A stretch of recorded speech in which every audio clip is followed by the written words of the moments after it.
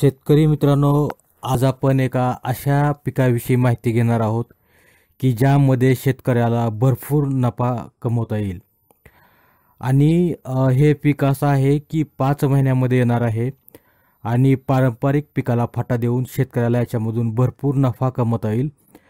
त्याचबरोबर त्याला एक एक रकमी किंवा हुकमी म्हणता येईल असं एक पीक आहे. त्याच्याविषयी तुम्हाला मी माहिती सांगणार आहे. आणि मित्रांनो हे जे पीक आहे ते म्हणजे हॉपशूट हॉपशूट हे एक असं पीक आहे ज्याचं ज्याचा उपयोग हा सगळ्यात जास्त मादक पदार्थ म्हणजे बियरचा स्वाद तयार करण्यासाठी वापरला जातो. आता तुम्हाला माहीतच आहे की बियर ही सगळ्या जगभरामध्ये वापरली जाते आणि त्याचे भरपूर ग्राहक आहेत. आणि हॉपशूट हे एक असं पीक आहे की जे कॅनॅबल्स कॅटेगरीमध्ये येतं. कॅनॅबल्स कॅटेगरी म्हणजे तुम्ही भांग किंवा गांजा अशा पद्धतीमध्ये येतं. पण याची आणि त्याची कॅटेगरी किंवा वर्गवारी ही पूर्णपणे वेगळी आहे. तर म्हणजे काय खास आहे असं पीक आणि याला एवढी का डिमांड आहे?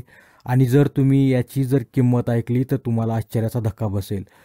तर हॉप शूट्स हे पंच्याऐंशी हजार रुपये किलो आहे.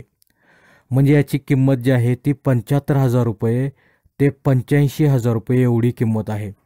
मग याची एवढी का किंमत आहे किंवा याला एवढी का डिमांड आहे? याचं उत्पादन किती होतं? याला माती कशी लागते? वातावरण कसं लागतं? याच्या बिया किंवा रोपे तुम्हाला कुठं भेटतील? आणि याचं उत्पादन कसं घ्यायचं? याविषयी मी तुम्हाला आज पूर्णपणे माहिती सांगणार आहे. तर मित्रांनो हॉपशूट ही आपल्या भारतामध्ये हिमाचल प्रदेशामध्ये याचं मोठ्या प्रमाणामध्ये उत्पादन होतं. आणि ही जर्मनी कॅनडा आणि अमेरिका या देशामध्ये उगम पावणारी ही वनस्पती हल्ली पूर्ण जगभरामध्ये याला प्रचंड मागणी आहे. कारण याचा जो वापर आहे तर याचा वाप उपयोग हा शक्यतो बियर निर्मितीमध्ये स्वाद किंवा त्याला फ्लेवर किंवा टेस्ट मॅनेज करण्यासाठी याचा उपयोग केला जातो आणि याच्यामुळे याची किंमत ही मोठ्या प्रमाणामध्ये आहे. आता हे याची जे फूल आहेत त्याला फुलांना हे हॉपकॉर्न्स म्हणतात.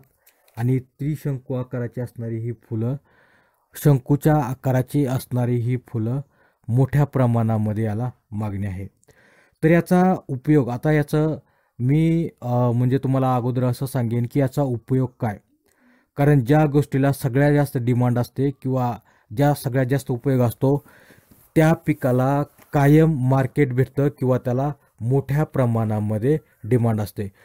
तर आपण अगोदर बघूयात की त्याचा उपयोग काय त्याचे गुणधर्म काय आणि ते कुठं कुठं वापरलं जातं आणि त्याच्यानंतर सांगेन की त्याला जमीन कशी लागते किती दिवसामध्ये पीक येतं त्याला पाणी आणि वातावरण कसं लागतं.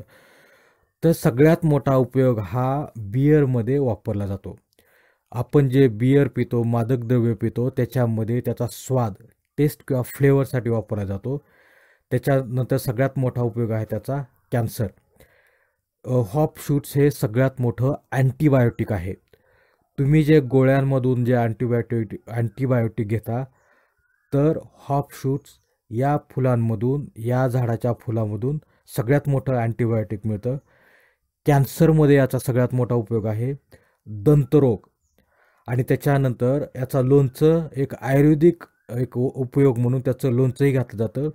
आणि सगळ्यात महत्त्वाचं त्याच्यामध्ये स्ट्रोबाईल असतं. स्ट्रोबाईल हे असा एक गुणधर्म आहे की ज्याच्यामुळं कसलाही आजार झाला असेल रोग असेल तर ते निवारण करण्यासाठी जी रोगप्रतिकारक क्षमता वापरण्यास वाढवण्यासाठी याचा उपयोग केला जातो. त्याच्यानंतर हे याच्यामध्ये इतके मोठे औषधी गुणधर्म आहेत. त्यामध्ये चिंता अनिद्रा बेचैनी तणाव उत्तेजना असेल अटेन्शन डेफिशिट किंवा हायपर ॲक्टिव्हिटी डिसऑर्डर हे जे म्हणजे ह्या रोग ग्रस्त पेशंट आहेत किंवा रुग्णांना याचा सगळ्यात मोठा उपयोग होतो भीती चिडचिडेपणा आणि सांगितल्याप्रमाणे कॅन्सर तर हे औषधी गुणधर्म असल्यामुळं या झाडाला किंवा या पिकाला सगळ्यात मोठी मागणी आहे आणि याचा हल्ली औषधांमध्ये आयुर्वेदामध्ये सगळ्यात जास्त डिमांड आहे. त्याच्यामुळं काय आहे की मित्रांनो जर तुम्ही याचं उत्पादन घेताय तर तुम्हाला सगळ्यात जास्त एक रकमी भाव भेव भेटून तुम्हाला त्याचं मोठ्या प्रमाणामध्ये उपयोग करता येईल. तर मित्रांनो सांगितल्याप्रमाणे ही जी आहे हॉपशूट्स ही वनस्पती जी आहे ती वेलीसारखी वाढते आणि ती जवळपास तीस ते पं पस्तीस फूट उंच वाढते. त्याच्यामुळं जर तुम्हाला त्याची लागवड करायची असेल तर तुम्हाला शेतामध्ये काय करायला लागतं की तुम्हाला एक मांडवासारखा प्रकार. जसं की आपण टोमॅटोला किंवा द्राक्षाला एक मांडव तयार करतो त्याप्रमाणे तुम्हाला त्याची एक रचना करायला लागते लाकडांची रचना करायला लागते आणि त्याच्यानंतर मग त्याच्यावरती तुम्हाला सोड हे करता येतं. तर ही जी वनस्पती आहे मित्रांनो याला थंड वातावरण लागतं. थंड वातावरण लागतं म्हणजे आणि वसंत ऋतूमध्ये जसं की आपला पाडव्याच्या नंतर वसंत किंवा ग्रीष्म ऋतू येतो तर त्या पिरियडमध्ये याचं उत्पादन घेतलं जातं. आता याची जी किंमत आहे ती किंमत जवळपास पंच्याऐंशी हजार रुपये किलो ही भाजी भेटते. ही भाजी म्हणून पण खातात. पण ही सामान्य माणसाला ही परवडणारं नाही. तर ही अमेरिका युरेशिया दक्षिण अमेरिका या भागामध्ये जास्त पिकते आणि आपल्या भारतामध्ये हिमाचल प्रदेशामध्ये त्याची वाढ होते किंवा त्याचं उत्पादन घेतलं जातं.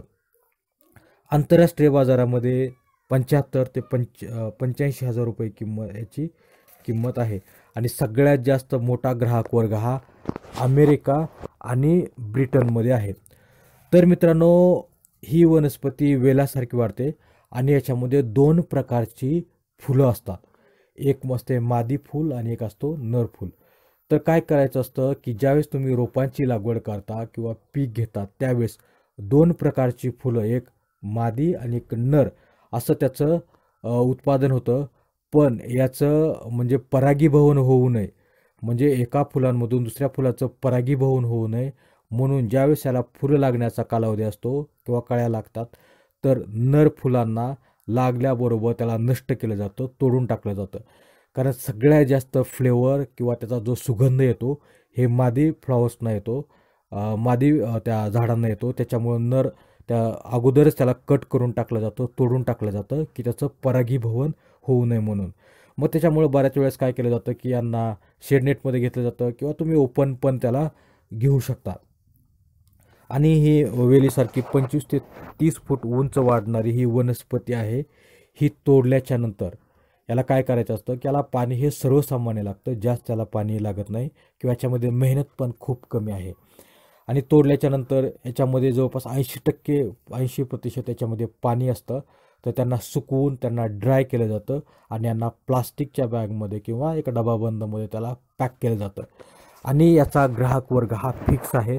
तो म्हणजे आयुर्वेदा असेल किंवा तुमचं आयुर्वेदा असेल किंवा औषधी गुणधर्म असेल औषधी फार्मास्युटिकल कंपन्या असतील किंवा मग हे जे बियर बनवणाऱ्या कंपन्या आहेत ह्या फिक्स आहेत.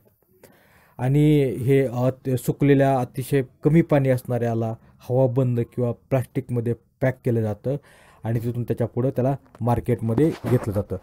तर मित्रांनो कशी वाटली जर तुम्हाला माहिती जर तुम्हाला माहिती जर आवडली असेल तर नक्कीच ही माहिती करा. माहिती लाईक करा शेअर करा आणि कमेंट करा. धन्यवाद मित्रांनो.